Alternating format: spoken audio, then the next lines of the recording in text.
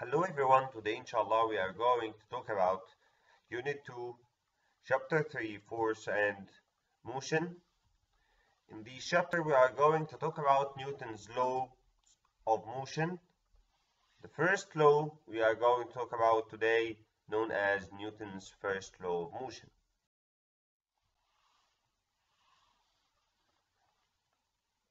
In the beginning we are going to talk about the reason for motion. What is the relation between force and motion? Without force, there is no motion. So the force is considered the cause of motion or the reason for motion. Objects around us moves due to the effect of force acting on the object and objects around us stops due to the effect of a force on it. So we can define force it is an external influence that affects the object to change its state or direction of motion. We have here many examples for forces that exist around us, such as the force exerted by your muscles helps to pull or push things, or the force, magnetic force, or friction force, or gravitational force. We have many type of forces that exist around us. Some of them can be seen and other cannot be seen like the gravity or the magnetic force. The measuring unit of force is known as Newton, related to the scientist Isaac Newton. And the measuring device used to measure the force is known as the spring scale. We have here an image for the spring scale which is used to measure the force in Newton. In this part we are going to talk about Newton's first law of motion.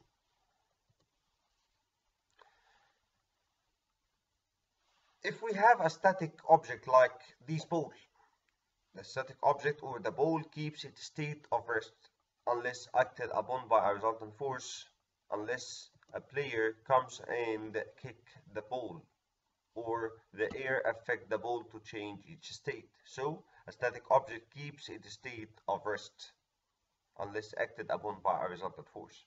And a moving object keeps its state of motion at uniform velocity in a straight line. If this ball moves and no force acting on it, it will keep moving in a straight line with uniform velocity.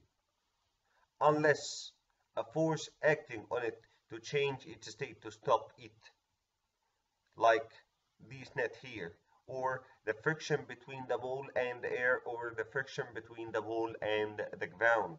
So, according to Newton's first law, the statement of this law, a static object keeps its state of rest and moving object keeps its state of motion at uniform velocity in a straight line, unless acted upon by a resultant force. Again, any static object keeps its state of rest. Again, any static object, it will keep its state of rest. And any moving object, it will keep its state of motion at uniform velocity in a straight line, unless acted upon by a resultant force, unless a force acting on it to change its state, its state of motion or its state of rest.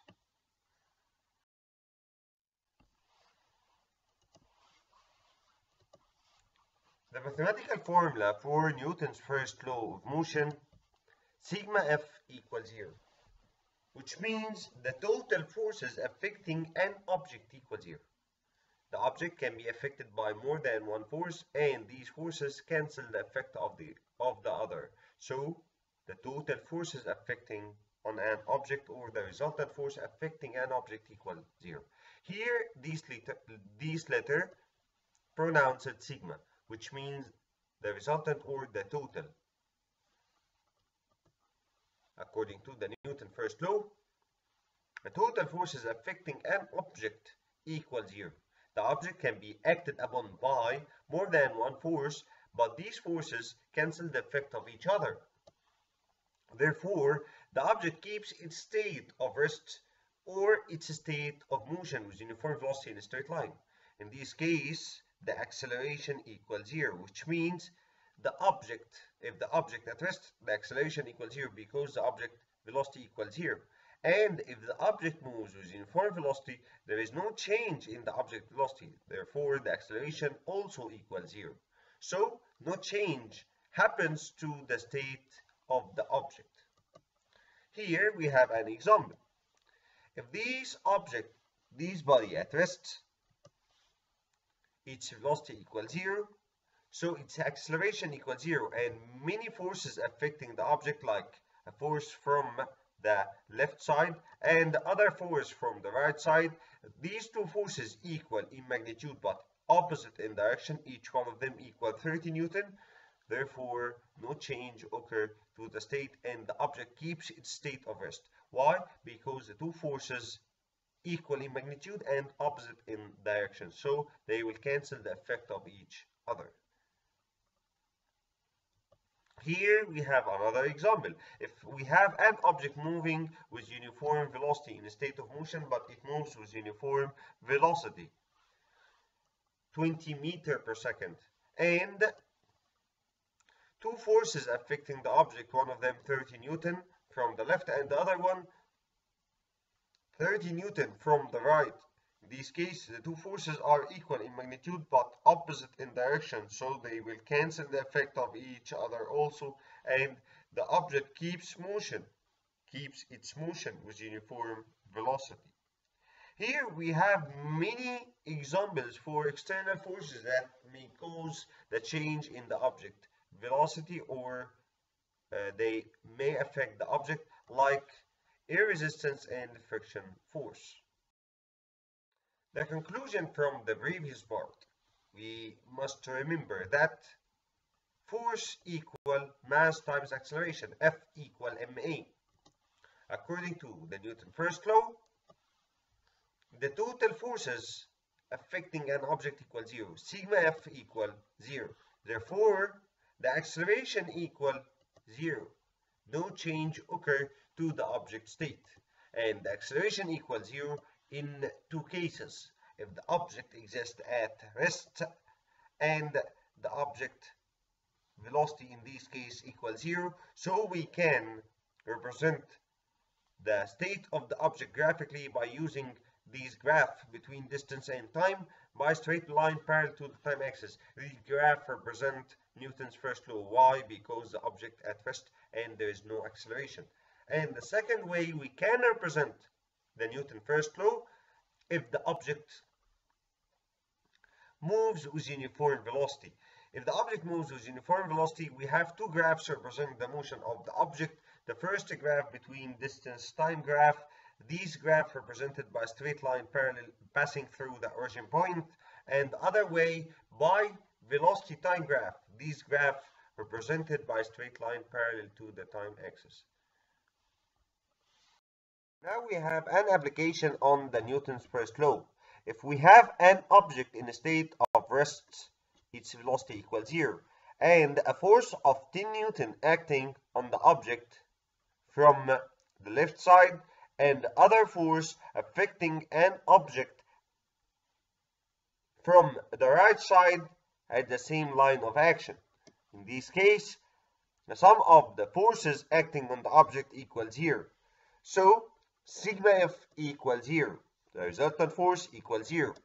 So, F1 plus F2 must equal 0 according to the Newton's first law. So the first force equal 10 Newton and the other force F2 equal negative 10 Newton. Why? Because it acts in opposite direction to the first force.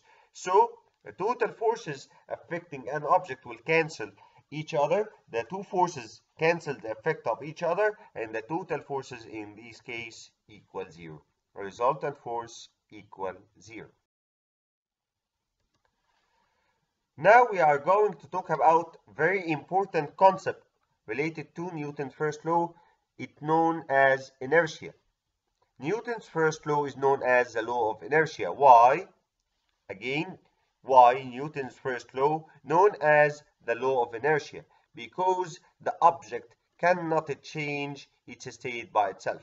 Here, in this figure, we have this graph which driving a car. When it hit the wall, the graph moves forward. Why? Due to the inertia.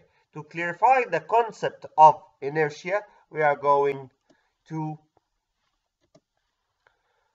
define inertia. It is the ten tendency of an object to keep either its state of rest or its state of motion in straight line with uniform velocity. Or we can define inertia, it is a property of the object to resist the change of each static or dynamic state. Again, the concept of inertia means the object try to keep its state, whatever its state, its state of rest. If the object exists in a state of rest, it tries to keep its state of rest and stay in its place. If the object in a state of motion, the object tries to keep moving with uniform velocity in a straight line. Here we have the concept of inertia in the figure of the graph. The graph exists inside the car and the car moves with uniform velocity. When the car hit the ground, hit the wall, when the car hit the wall, the graph rushed forward due to inertia. Why? Because her body tried to keep its state of motion. Here we have many examples for inertia and application for inertia. If a car starts to move, the passengers suddenly, if a car starts to move suddenly, passengers inside the car tend to fall backward due to inertia. Their bodies try to keep its state of rest due to inertia. So they rush backward. They try to return to the original position. Here we have another example. If a car stops suddenly, passengers inside the car tend to fall backward. Here we have this video. If the passenger inside a moving car hit a wall by his car, his body rushes forward due to inertia because his body tries to keep its state of motion due to inertia. So seat belts should be fastened on driving. Why? To protect the driver from being hurt, passengers from being hurt due to inertia and protect their bodies from uh, damage of inertia causes by inertia. Here we have give reason seat belt should be fastened on driving to stop inertia during sudden stop and protect passengers from being hurt. Now we are going to talk about another applications on inertia.